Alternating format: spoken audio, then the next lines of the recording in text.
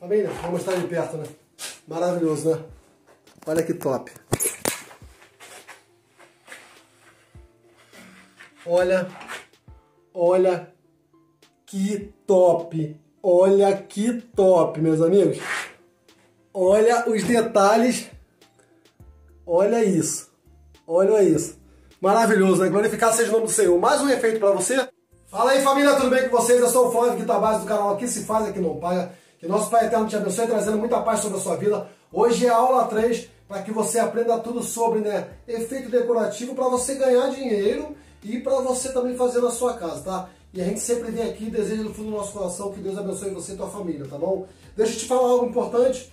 É, o nosso canal é o maior canal de gesso 3D do Brasil, o maior canal de efeito decorativo. A gente foi o primeiro canal nas redes sociais aqui a montar grupo de aprendizado totalmente de graça. Se você observar, a gente não ativa nem a tecla seja membro, porque a gente acha injusto cobrar dinheiro de vocês, principalmente seguidores, para trazer informação. Então aqui não, a gente fala a verdade para vocês, tá? Hoje nós vamos aprender a fazer um mármore mesclado, né, onde você pode usar a técnica com massa acrílica, mas também eu tenho que te frisar para vocês sobre isso. E eu sei que vocês são inteligentes, vocês vão entender. Eu poderia chegar aqui e falar assim, gente, vamos usar a massa acrílica da Masa, né, porque ela tem um ótimo preço e qualidade, não é isso? Eu estaria fazendo né, o meu comercial aqui, a nossa parceria com a Masa.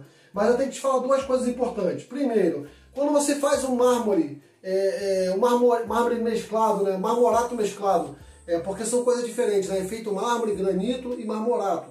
É, quando eu falo para vocês que dá para fazer com massa acrílica, eu estou escondendo três coisas de você. Eu estou escondendo que existe né, uma massa de efeito aonde você pode laminar com a desempenadeira, né, com a sua desempenadeira profissional aí, de aço, trazer um brilho. Então, se eu não te falar isso, existe. E qual é a diferença dessa massa de efeito decorativo, que tem também a massa, para uma massa acrílica? 10 reais. Tá? Ela é melhor para quê? Lixamento, ela é melhor para pigmentação e para você trabalhar. Vocês estão entendendo? Então é muito mais que vir aqui fazer um vídeo caseiro para você. É isso que a gente precisa na rede social, orientação. Outro ponto, você sabia que, que vende um cimento queimado que já é pigmentado, hidrorrepelente, que tem uma fluidez na massa ótima para trabalhar, de várias cores, que custa 55 reais. E entenda que o seu amigo está falando, quem é a família que se faz aqui não paga, sabe que eu estou falando a verdade. Você vai comprar uma massa acrílica de 45 reais, vai comprar um corante de 5, você vai gastar 50 reais. Concorda comigo?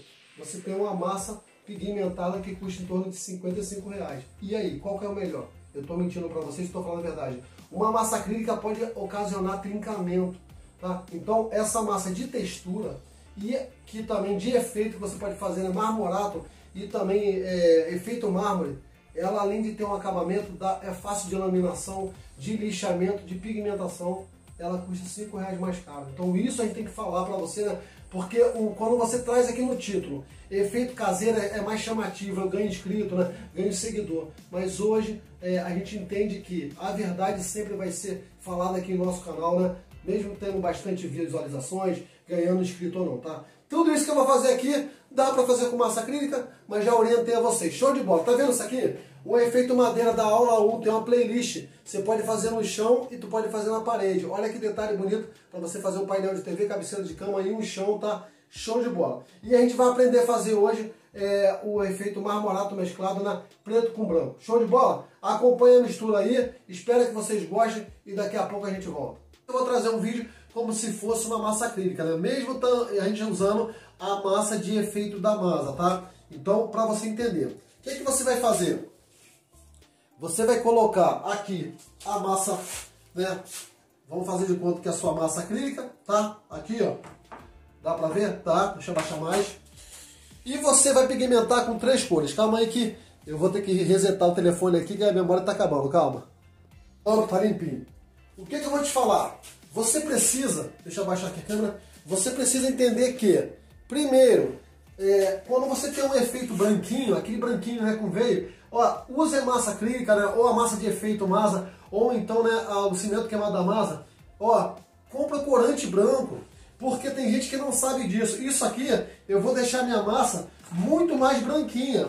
Por mais que seja uma massa branca, quando a gente trabalha com efeito, ela fica muito melhor, tá? Então aqui, ó, Você vai pegar uma massa, vai adicionar corante branco. Isso tem gente que não sabe.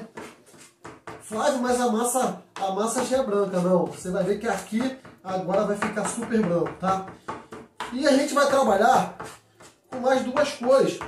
A gente vai trabalhar com cinza, né? Vocês sabem que para fazer o corante cinza é tingidor preto. Então você vai vir aqui, ó. Eu botar aqui que tá acabando, ó. Ô meu amor, tudo bem? Tô fazendo aqui um vídeo rapidinho. Ó. Botou corante preto, ó. Vamos trabalhar com três cores.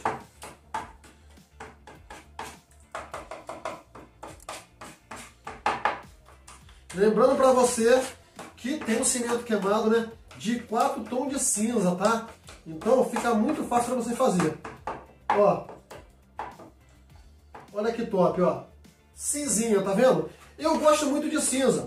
Mas se você optar né, por cores é, laranja, verde, fica legal. Eu só não gosto é que tem gente que ensina aqui na internet fazer aquele roxo, vermelho, não fica legal, não tem, aquilo ali é característica para um hall de hotel, né, uma entrada de restaurante, e não é esse tipo de tonalização que as pessoas têm feito, né, laranja com roxo, com preto, não, né, então isso é muito importante a gente orientar você, porque você vai ver alguém fazendo, e vai fazer na sua casa e vai destruir o teu sonho, tá? E agora, ó, ficou um cinza bem escuro, tá vendo, ó?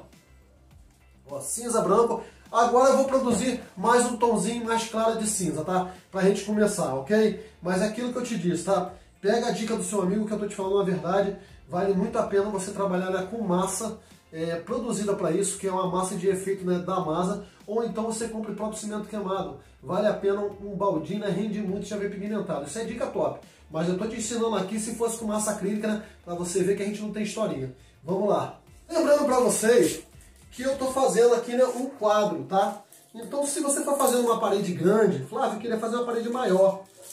Você pode usar uma espátula maior, né, que seria o correto para que você não ficasse né, muito tempo é, fazendo esse efeito, tá? Então a gente decide é, qual vai ser a posição, né? Diagonal de lá para cá, daqui para lá, siga sempre a mesma sequência. Não vai fazer assim e depois assim, tá bom? Eu, existe né, um tipo de piso que a gente faz com isso Fica muito bonito, eu já fiz esse trabalho, depois eu vou trazer para vocês. Agora, gente, aqui, ó, o que, que você faz aqui, ó? Cinza claro, cinza, né, o mais grafitado, ok? E o branco. Né? Algumas pessoas fazem isso aqui e bota né, na primeira. Não aconselho não que você tira muitos vezes, tá? Vou fazer de lá para cá primeiro, ok?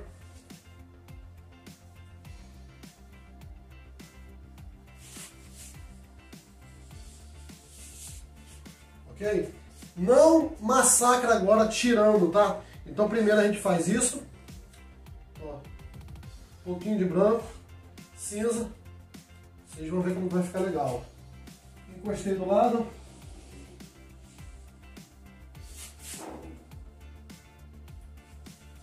Espera um pouquinho para você repassar, tá?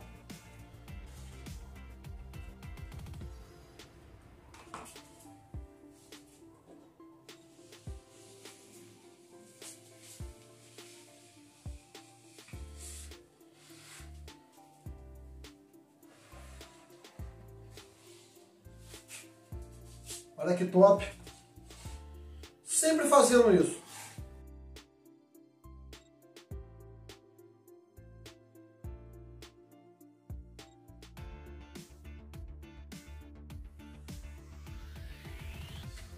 Vou preparar aqui o pano de cinza e a gente finaliza, tá bom?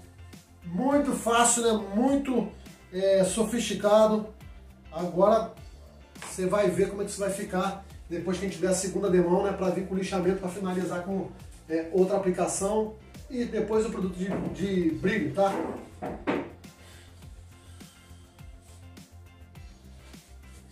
Flávio, ficou muito branco ali, não tem problema aqui, ó. Você tira, pega o cinza mais escuro, ó. Quebra lá, ó.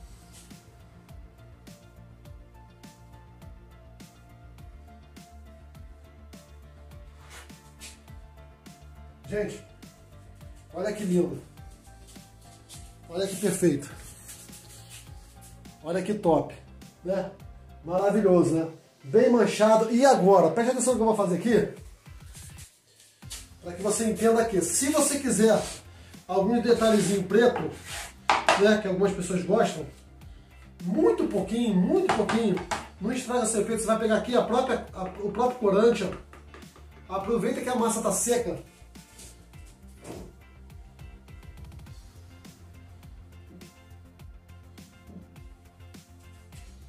Bem sutil, tá vendo? Ó, aproveita que a massa tá úmida, né? Ó, bota corante. Tá vendo? Um pouquinho aqui, ó. Escolhe um ponto, vem aqui, ó. De lado, ó.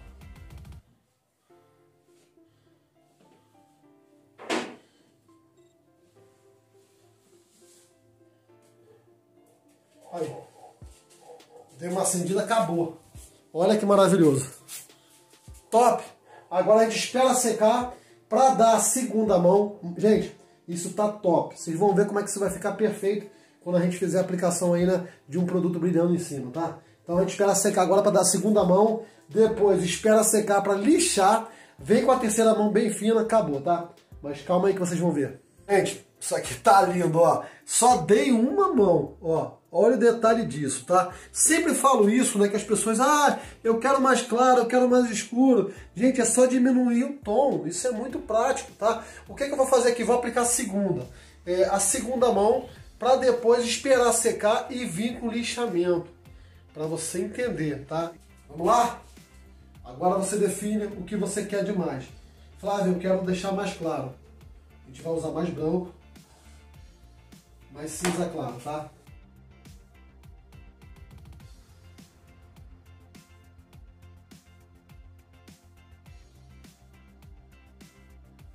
Família, olha que lindo depois de seco. Secou.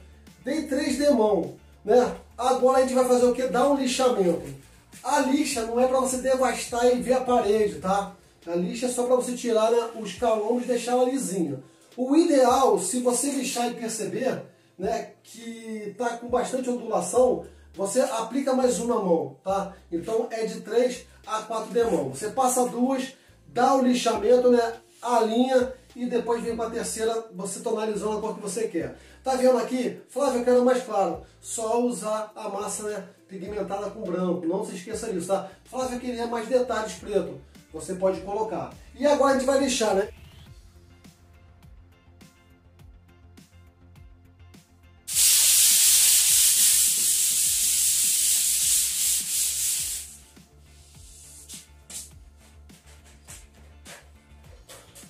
Mais um pouquinho de perto. Olha como é que isso ficou muito legal.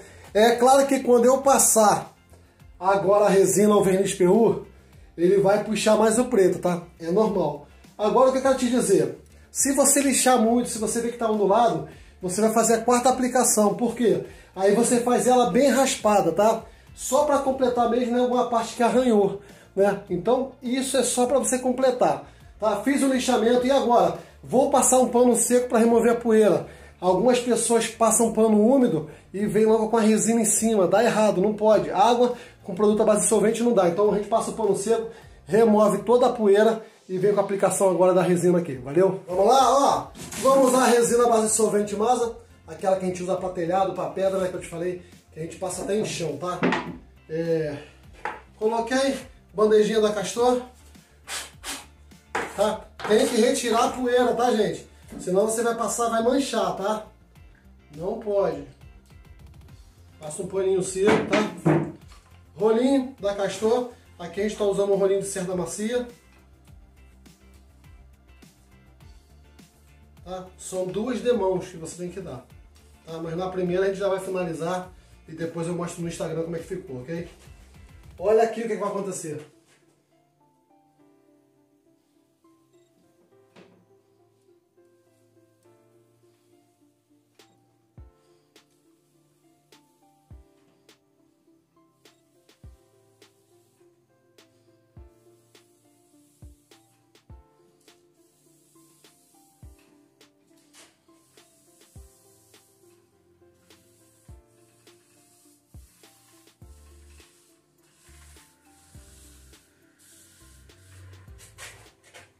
Gente, é lindo, não é?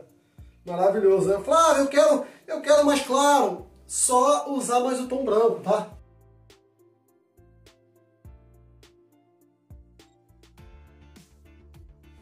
Tá bem, né? Vou mostrar de perto, né? Maravilhoso, né? Olha que top. Olha, olha que top. Olha que top, meus amigos. Olha os detalhes. Olha isso. Olha isso. Maravilhoso, né? Glorificado seja o nome do Senhor. Mais um efeito para você. Lembrando que o ideal é que eu dê mais uma mão. Um efeito mesclado, né? Branco com preto. Muito fácil de fazer, né? Sem dificuldade. Comenta aqui no vídeo o que você quer ver. Deixa aqui nos comentários, vale, é muito importante para mim a cor que você quer ver. Ainda falta aço cortente, cimento queimado, cimento perolizado, ainda falta né, é, tijolinho rústico, filete, falta muita coisa top. Então essa aula para você sair daqui profissional e ganhar seu dinheiro e deixar sua casa linda, tá? Tamo junto? Que Deus abençoe, família de vencedor. Se inscreve no canal, hein? Obrigado, tamo junto.